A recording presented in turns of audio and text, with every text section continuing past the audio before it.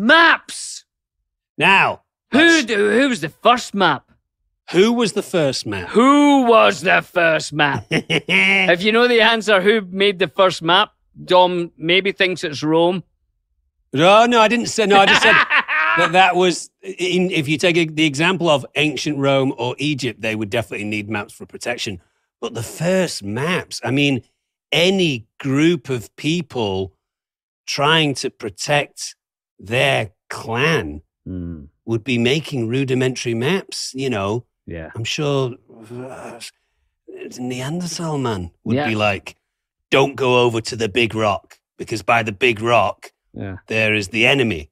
And people will go, "Where's the big rock?" And you go, "Get us, a piece, get us a piece of paper and a pen." we don't we don't have pens. We've only Yeah. just started to make very piece of charcoal out of rudimentary tools. Pull that piece of charcoal out of the fire. We don't we don't have fire yet. Hang on, I'll cut myself. Right now, see That'll that? let the bad spirits out. You're all right. Yeah, there. I'll I'll just The good draw a about- massive boulder with my blood. This is us. We're X. See the big boulder? Don't go over there. Right, Got you. we're X. Good thing once a few thousand years and it was Rome. At least you knew if you got on a road, all roads lead to Rome. They do, don't so you they? don't really need a map. You know you're going to get there. I'm still absolutely fascinated by the fact that there are roads all over Europe hmm. built by the Romans. Yeah, That is just crazy, right? isn't it crazy?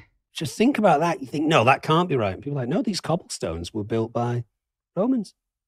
And one day we'll get into the London Underground, which is something I don't believe exists. Ah, if there's anyone out there that's an expert on the London Underground, We'd like to speak to them. Billy might be f- as fascinated about that as deep space. That's the one reason I know we're living in a matrix. The London Underground. Yeah. It's the oldest underground train system on the planet. And some guys went down there with shovels and built all that and put trains down there. And then you get on at Baker Street and you change at Waterloo.